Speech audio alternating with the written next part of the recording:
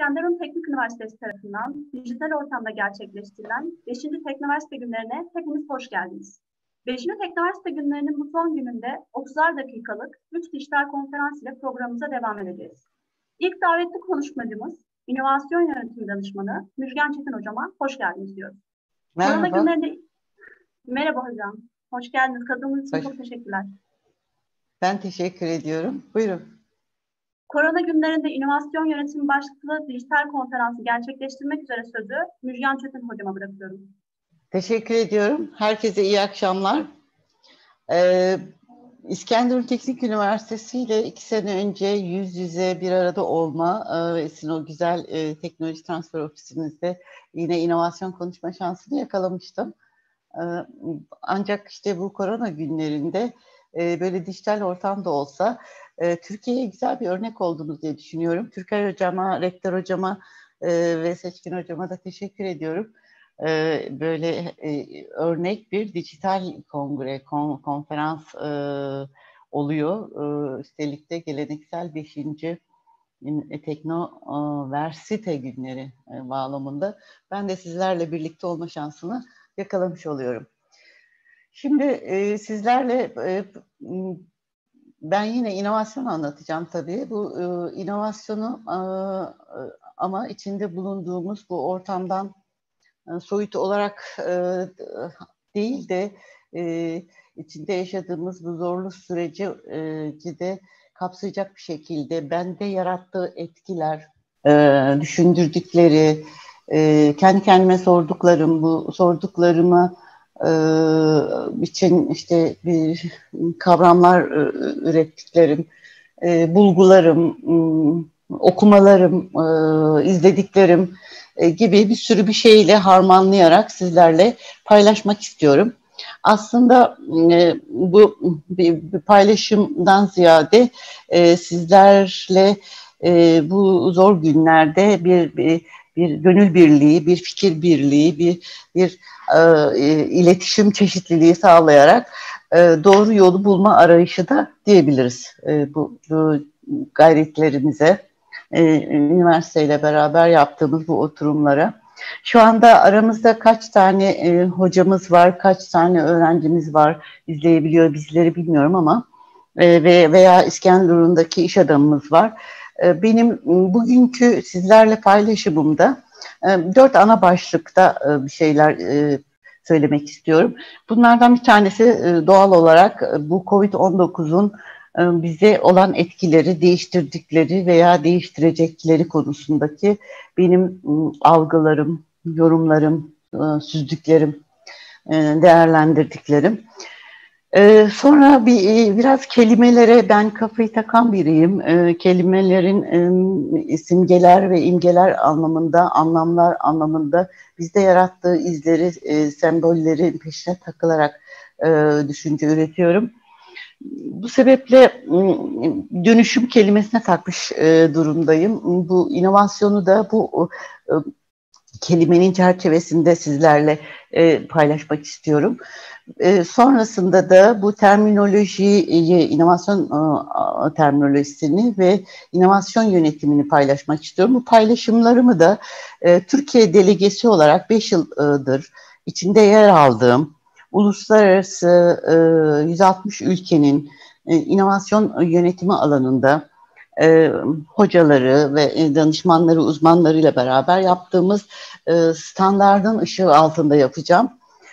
Ve neden e, e, inovasyonu tek başına bir bir inovasyon çağrı olarak görüyorum ama neden bunu sürdürülebilir bir başarı olarak görüyorumu da e, bu standardın çerçevesi içerisinde anlatmak istiyorum. Şimdi e, sunumuma başlarken e, kelimelere çok e, önem verdiğimi söylemiştim. E, kitapları da çok e, önem veriyorum. Bu burada Franz Kafka'nın ki bu da büyük ve önemli bir yazardır bence. Çok etkileyici bir yazardır. E, bu, bu bazı yayın evlerinde değişim, bazılarınca dönüşüm olarak öte, e, bu ülkemizde yayınlanan bu kitabı ince bir kitap ama e, bunu kitap seven veya sevmeyen kim varsa herkese en azından hayatında bir kere bunu okumasını tavsiye ediyorum. E, bu kitapta e, bir devlet memuru, küçük bir memur bir sabah evinde yatağında kendisini bir e, kara fatmaya bir, bir böceğe dönüşmüş olarak e, bulur. Ve e, o böcek olma halinin onda yarattığı ve çevresinde yarattığı duyguları, düşünceleri ve değişen, gelişen olayları anlatır ve çok çarpıcı bir biçimde anlatır. O yüzden inovasyonla ilgili e, yaşayacaklarımız, yaşadıklarımız ve e, e, COVID-19'la ilgili yaşadıklarımız, yaşayacaklarımızda ben değişim ve dönüşüm kelimeleri üzerinden yorumluyorum. Bundan sonra anlatacağım her şeyi bu bu altyapıyla eğer dinlerseniz belki hani daha kendimi ifade etmek konusunda da sizlere ulaşabilmek konusunda da rahat ederim. Bu e, Türk Dil Kurumu'nun e, değişim için tanımını görüyorsunuz ve dönüşüm için tanımını görüyorsunuz. E, benim benim bu tanımlara ilaveten ben şöyle algılıyorum. E, değişim e, bizim e, bir çeşitlilik, farklılık e, elde ettiğimiz bir e, durum. E, ama geriye dönme şansımız her zaman var. Halbuki dönüşüm dediğimiz zaman başka bir biçime giriyoruz ve artık geri dönüş şansımız kalmıyor. Bir hmm, işte kelebeğe tırtılın dönüşmesi gibi veya kozaya girmesi gibi.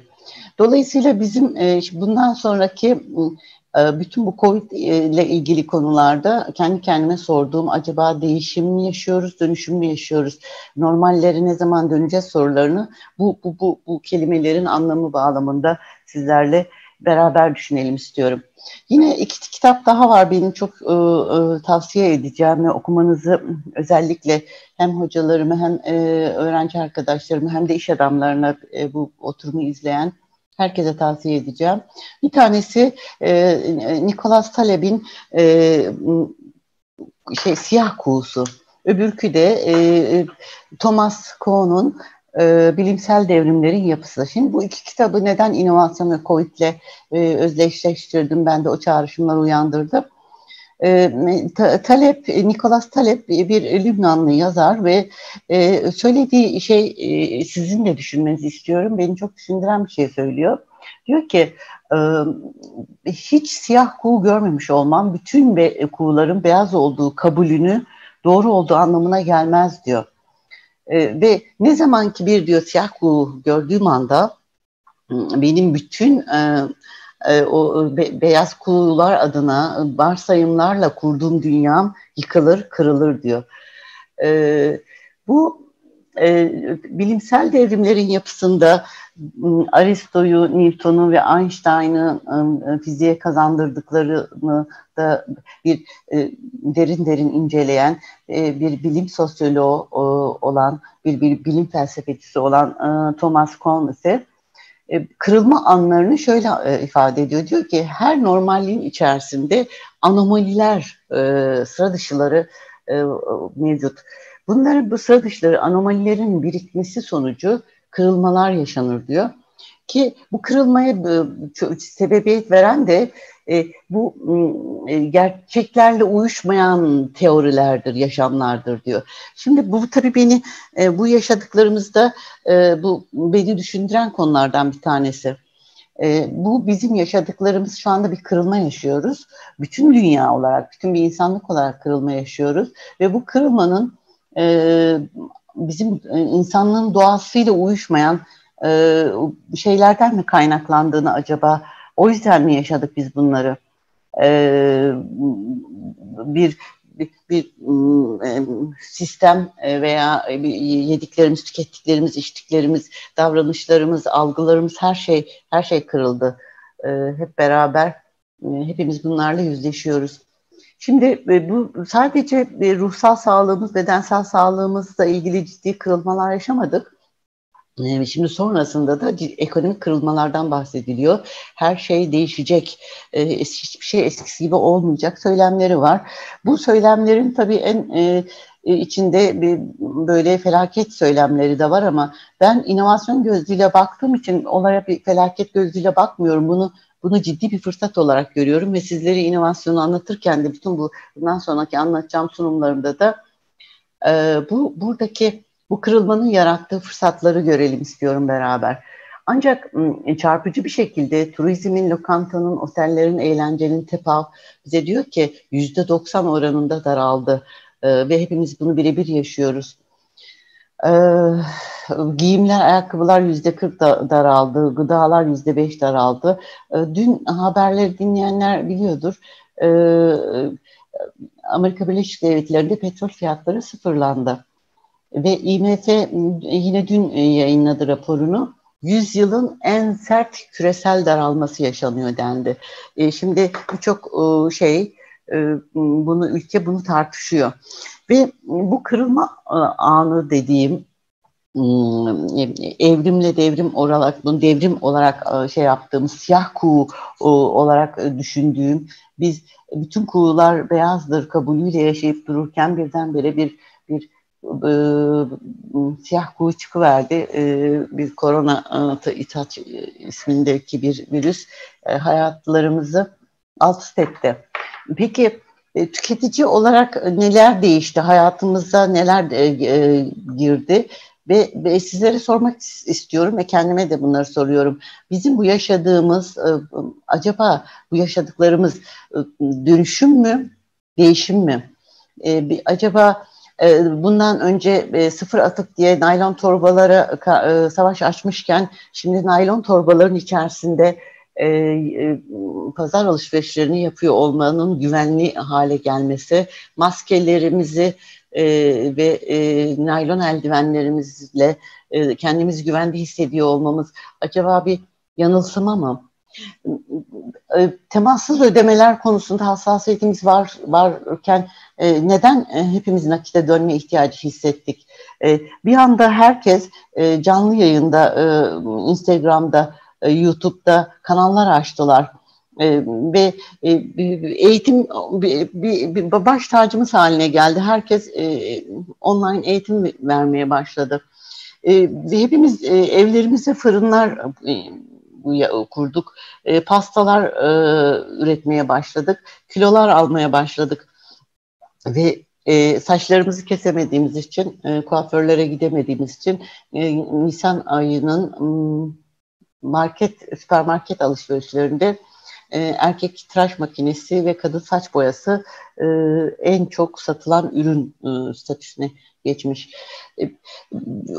Çok fazla WhatsApp grupları oluştu. Bu gruplardan bir sürü bilgi yayılmaya başladı.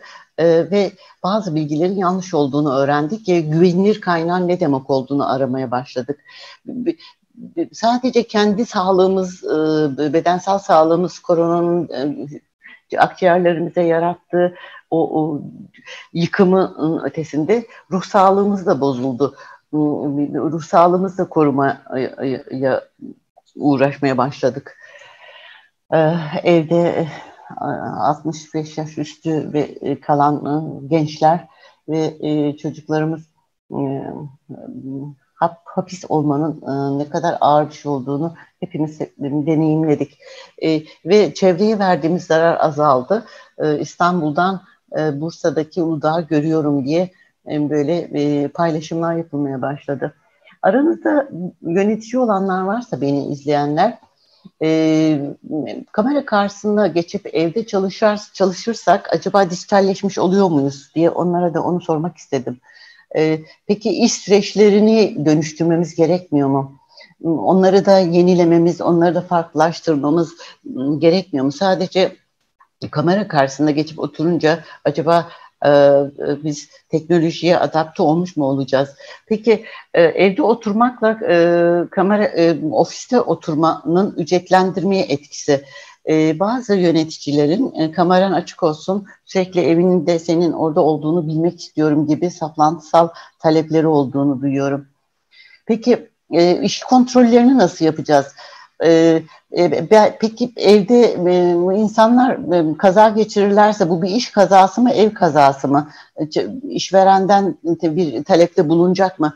Dolayısıyla yasa ve mevzuatlar, iş kanunları 45 saat çalışmaktan bahsediyordu işverende. Onlara yemek, kira, servis şartı koyuyordu. E, e, onlar değişmeyecek mi bu, bu, bu çalışma düzeni içerisinde? Gibi e, bir, bir, bu dijital dönüşüm dönüşüm olmayacak mı, gerçekleşmeyecek mi diye düşünüyorum ve sizlere de sormak istiyorum. E, girişimciler bir seyahatleri çok severlerdi. Artık e, seyahat de edemiyorlar. Bütün uçaklar, e, trenler durdu. Müşteriyle yemek yemeyi severlerdi. Ellerini sıkmayı, sarılmayı severlerdi. Şimdi artık böyle bir şey söz konusu değil. Ve bu iş insanları acaba ofise gerek var mı demeye başladılar. E, işte yeni fuarlar e, sanal fuar halinde, yeni proje pazarları sanal proje pazarları halinde yapılmaya başladı ki biz şimdi içinde e, çok e, üniversiteler olarak bilimsel bilgi paylaşımının önemsediğimiz bu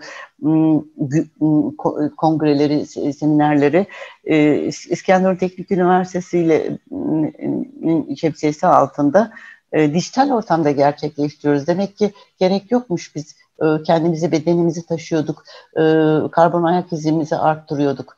E, peki biz burada e, fırsat e, fırsat ne var insanları için? E, biz o kadar böyle yanık bir e, ülkenin çocuklarıyız ki e, biz krizlerle yaşamaya alıştık. Amerika'ya, Avrupa'ya bizim ihraç şansımız e, yok mu? Peki bu ihraç şansları ıı, biz kendimize nasıl dönüştürebiliriz? Ee, birazdan bu inovasyonla bunları sizinle paylaşmak istiyorum ama iş insanı olarak ıslak imza ve kaşe taşırdık yanımızda. Bundan sonra ge- gerek var mı? Ee, bu konuyla ilgili mevzuat değişecek mi? Ee, yine beni çok düşündüren şeylerden bir tanesi. Ben e, yeni yenilik yönetimi anlamında bu kendimi adamış birisi olarak fikri hakları çok e, önemserdim. İşte markamız, patentimiz günde bu e, yenilikçi fikirler nasıl korunur diye Erdem Kaya Bey size sunum yaptı. Şimdi bu fikri hakların korunması ile ilgili benim kafama da takılan şeylerden bir tanesi yine sizlere soracağım, size düşünün istiyorum. Bir coğrafi buluş, bir yeni kıta keşfederseniz veya bir matematik formül keşfederseniz bu insanlık yararınıdır diye üzerinize onu fikri hakkını alamıyorsunuz. Ticariye hiçbir gelir elde edemiyorsunuz ondan. Şimdi Covid-19'un aşısı bulunsa veya tedavi ilacı bulunsa ona bir, bir ilaç şirketi bunu bu insanlık yararına değil mi? Onun üzerine ticari haklarını alacak. Hepimiz ona o, o buluşla ilgili para mı ödemek zorundayız? E, bu açık e, kaynak kodları diye e, gençler var. Lisans ve e, ilaç e, e, alanındaki fikri hakların neden e, birileri tarafından bir ticari kazanç olarak görüldüğünü, bunların insanlık yararına olduğunu savunan gençler. Şimdi ben de onlarla aynı şeyi düşünmeye başladım. E, bu, bu sağlık konusu neden ilaçlar e, için patent alınıyor ki? E, bu, bu başka bir çözümü, burada bir inovatif çözüm olamaz mı?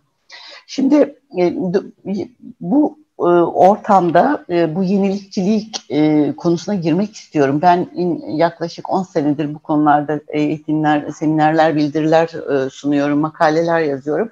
Hep bu teknolojileri anlatıyordum. Bu teknolojiler hep vardı hayatımızda ve inovasyon bir sorunu çözüyorsa işte orada inovasyon vardır diye anlatıyordum. Dolayısıyla her bir sorun bizim için bir çözüm fırsatı, bir inovasyon fırsatıdır diye anlatıyordum. E, bu son e, 5-10 yıldır buradaki paylaşım ekonomisini, dijital ekonomiyi e, tanıksınız. Gösterdiğim e, markalarda e, hep tanıyorsunuz küresel e, markalar bunlar. Kendi e, mülkiyeti olmadan e, Türkiye'nin e, gayri safi milli hasılasından büyük gelir elde eden markalar. E, ülkemizde de var bunlar o kadar başarılı markalar ki e, yurt dışından işte Ali Babası veya işte Amazon gelip bunları satın aldı. E, peki e, Kığlı yılların e, erkek kıyafet markası e, bir anda Covid günlerinde makarna ve e, çocuk bezi satmaya başladı. Bir markete dönüştü ve bu sosyal medyada çok e, konuşuldu. E, Migros'un e, sanal marketi 5-6 günde anca size siparişlerinizi ulaştırırken her ilçede varım diyen ıı, diğer e, markalar e, bu dijital ekonomide çok hazırlıklı olmadıkları için artık hani geri mi düştüler acaba? Onlar da buna dönüşmeye hazır değiller mi? Bu şu anda hepinizin WhatsApp'larına bu mesajlar geliyordur. İşte İsveç'te kendisine çip taktıran gençler, Amazon Go'daki temassız ödemeler ve e, Çin'deki e, kamerayla e, insanların e, birebir hükümet tarafından gözlenmesi. E, bizim de hükümetimiz biliyorsunuz bir uygulamayı cep telefonumuza indirmemizi istedi ve bu cep telefonlarından bizim işte Covid bulaştırma şeyimizi takip etmeyi istedi. Şimdi e, Person of Interest diye bir dizi var. Onu ister onu da tavsiye edeceğim. Şey yapın. E, büyük büyük büyük abi gözetliyor çok güzel anlatıyor. Bugün içinde yaşadığımız bu çipler, bu kameralar, bu cep telefonları temassız ödemeler bizi nereye götürüyor? Bunların hepsini e, düşünmek lazım. Bunları e, dönüştürmek lazım. Nasıl dönüştürmek lazım diye öneriyorum. Bundan sonra da onu sizinle paylaşmak istiyorum. E, insanlık olarak içinde yaşadığımız sorunu çözecek e, çareler üretmek için bunları dönüştürmemiz lazım. Yoksa korku ekonomisini e, yaratacak, korku ortamına şüpheyi, endişeyi körükleyecek bir şekilde değil. Bizim şu anda yaşadığımız erişim sorunlarını günlük hayatımıza ilişkin problemlerimizi çözecek halde üret, bu, bu, bu teknolojileri kullanalım istiyorum ve bunlar için sizlerle bunları yönetebilir hale nasıl geliriz diye inovasyon e, yönetimi şemsiyesi altında bunları konuşmak istiyorum.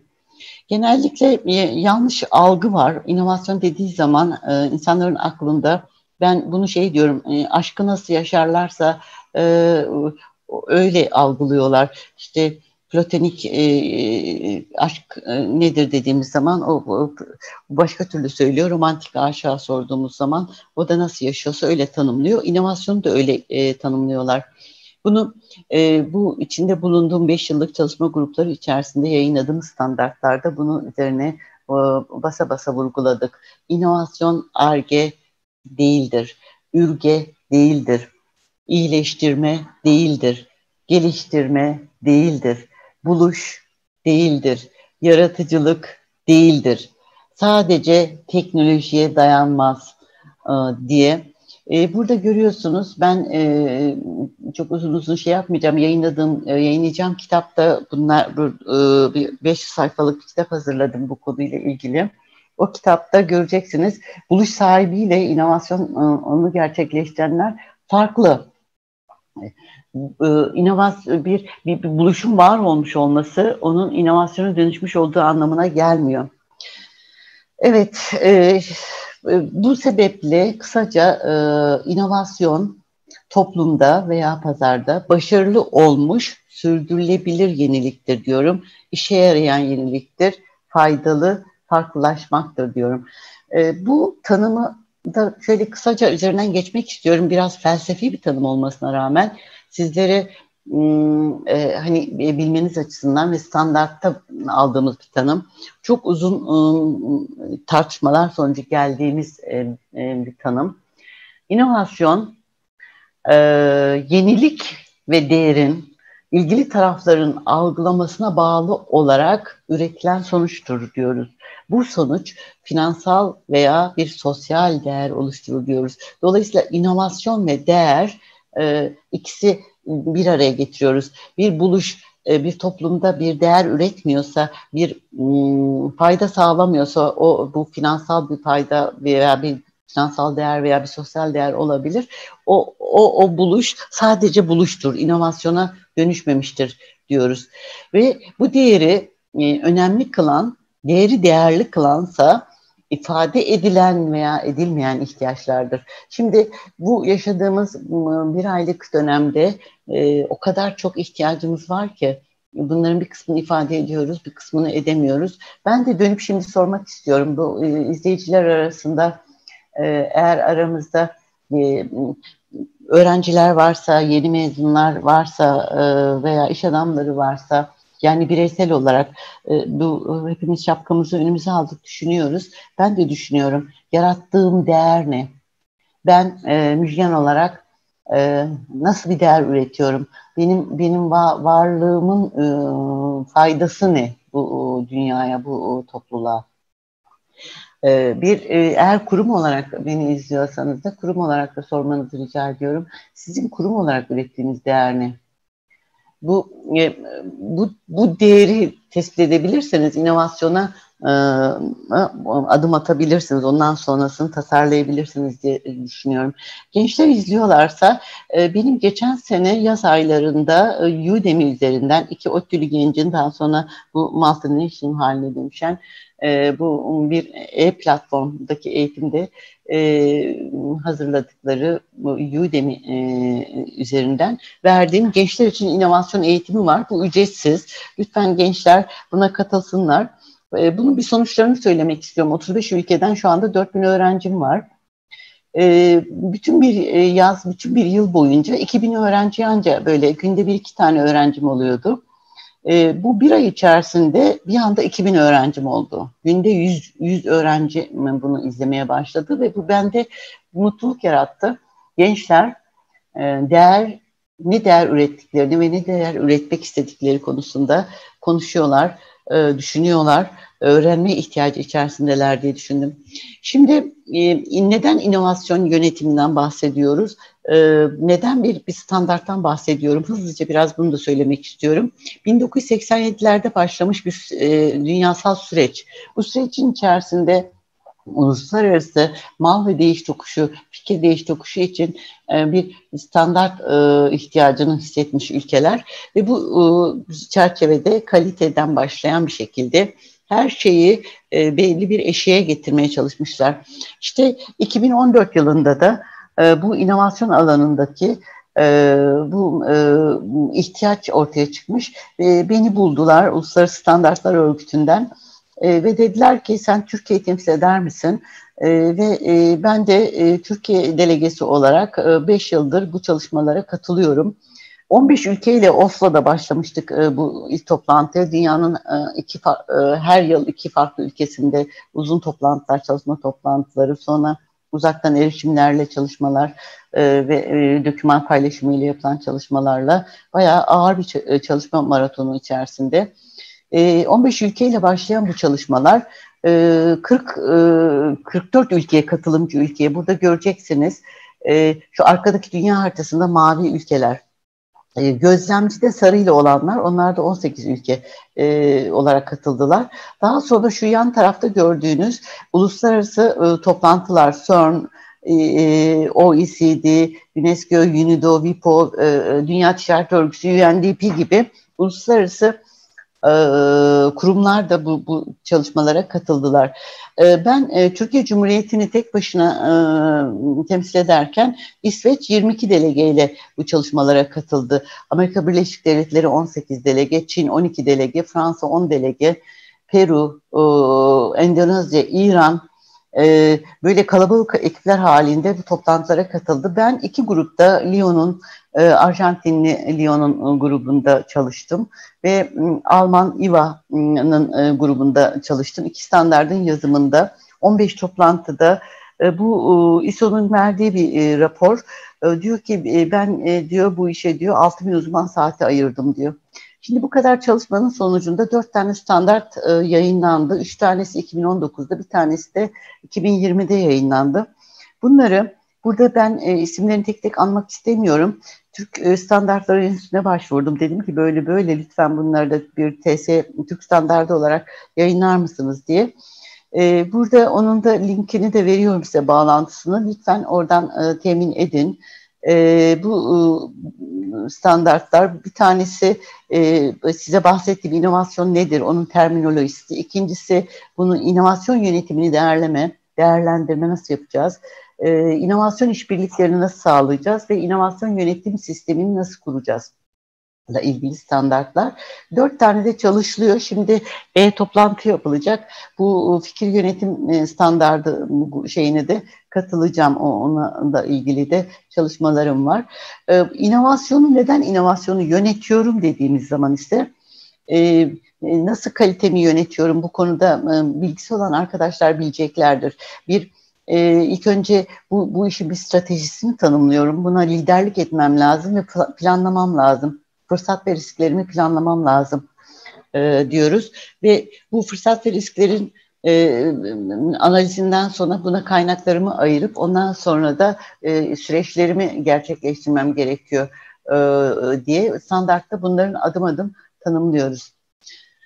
E, bu fırsat ve risk, e, herkes risk analizi değerlendirmeyi çok e, şey yapar. Bu Covid-19'u da ciddi risk olarak değerlendiriyoruz.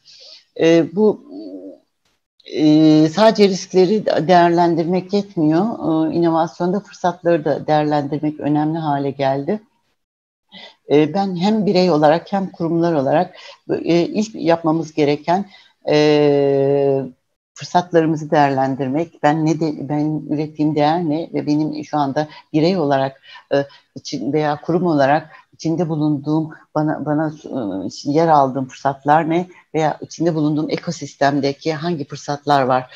E, ben bu fırsatları nasıl bir faydaya dönüştürebilirim diye ilk e, analiz olarak bunu yapılması gerektiğini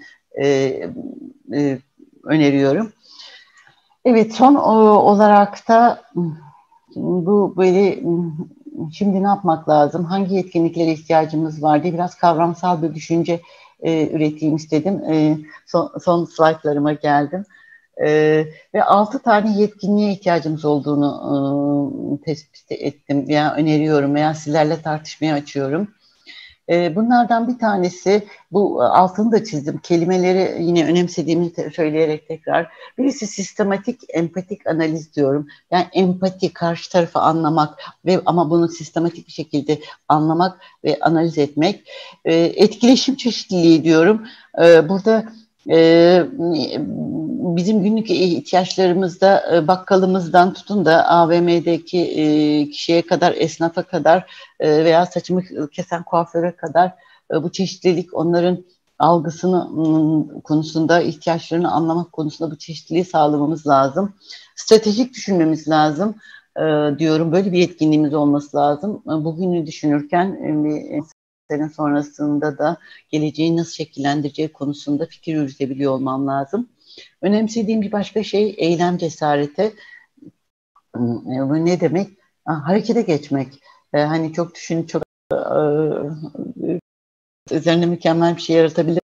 Lütfen harekete geçin, deneyin e, ve hep birlikte güncellenelim diyorum. Yani bu işte tek kişinin e, bir iyileşmesiyle olmayacak. E, bütün topluluk olarak, toplum olarak iyileşmemizle bu, bunu bu bütünsel sağlığa e, erişebileceğiz diyorum. Bu yetkinlikleri çok önemsiyorum. E, denemeyi ve test etmeyi, dolayısıyla ilerlemeyi önemsiyorum ve bunu da ancak melez çözümlerle şu anda çok fazla şişirilmiş dijital çözümlerin yerine geleneksel ihtiyaç geleneksel şeylerimizi bir arada inovasyona dönüştürmemiz gerektiğini ne inanıyorum. Bir de şunu da söyleyeyim. Müjgan Çetin diye şey Google'a sorduğunuz zaman bütün sosyal medya hesaplarıma ve bloguma erişebiliyorsunuz. Hocam Teknoversite günlerine katılımınız ve desteğiniz için çok teşekkür ederiz. Çok sağ olun. Ben teşekkür ederim. Diliyorum hepinize. Teşekkürler hocam.